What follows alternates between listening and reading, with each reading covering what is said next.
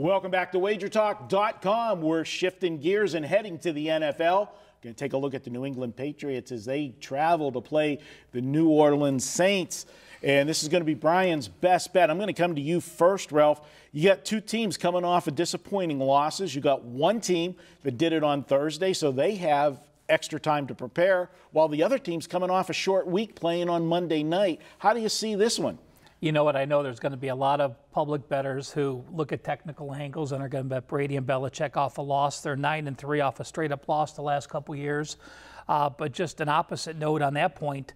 Over the last four years, the Saints have only been a home dog four times, and they've covered all four. So you've got a spot of a great home, a great home situation. You know, I look at both of these offenses, and I think they're bereft of their best wide receivers. You got Edelman out for New England; they're a different offense. Cooks from New from the Saints who got traded to New England.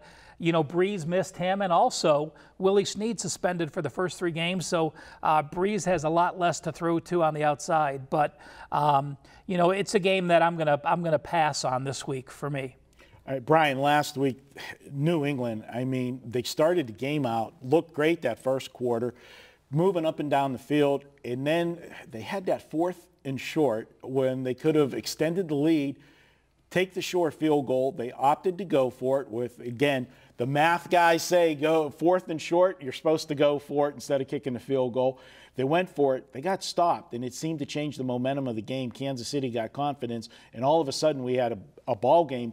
New England still had the lead going to the fourth quarter, something that they never give up a lead, you know, especially at home. But man, what a fourth quarter by the Patriots defense, or is the offense that good for Kansas City? Yeah, I'm not buying into the offense being that great for KC. Uh, and we've got the extra time off. Number one, you talked about off of a loss, how good New England is. Well, off of a loss in which your defense was just embarrassed. Uh, I really expect, you know, Belichick's a great defensive mind. Uh, they'll come out in this game and, and really uh, shut down the Saints. As you mentioned, the Saints don't have the weapons that they've had before. There's a lot of talk in the offseason that the Saints made some defensive changes. They didn't look like it in week one. I think they're a little bit better than what they showed uh, against Minnesota. So we're looking at two teams right now. The total's really high, and you're playing in a dome. You know, the general thoughts will be we're going to get two offenses. They're going to come out and really light it up.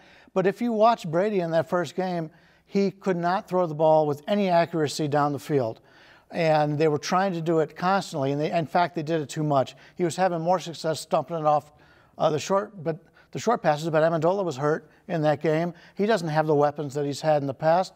So I think we're going to see a little bit more running here from both teams.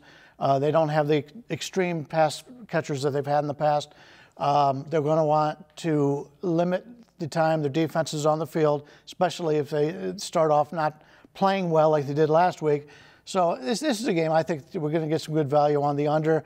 It wouldn't surprise me if it goes up a little bit more because of the high octane offenses, but I think the under is uh, the way to go on this one. Yeah, this total opened up for our uh, listeners at 54. It's up to 56 already. Uh, and yeah, people are going to look at those uh, scoring. One thing to agree with you, Bryan, uh, throw a point in there on your under. Um, if you are Belichick, as you said, you need to protect the defense if you do have problems. And he doesn't want the Saints offense on there because they can score, especially in the dome there. But to the flip side, I don't like what the Saints are doing with the three running backs.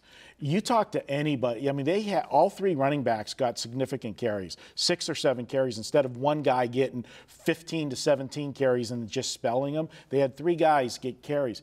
You cannot get a rhythm as a running back. You talk to any good running back, they say they get better as the game progresses when they get more carries and they get that rhythm. I don't like what they're doing. They got Peterson down there. Someone's not going to be happy with splitting up the carries. I think that's something they're going to have to address moving forward.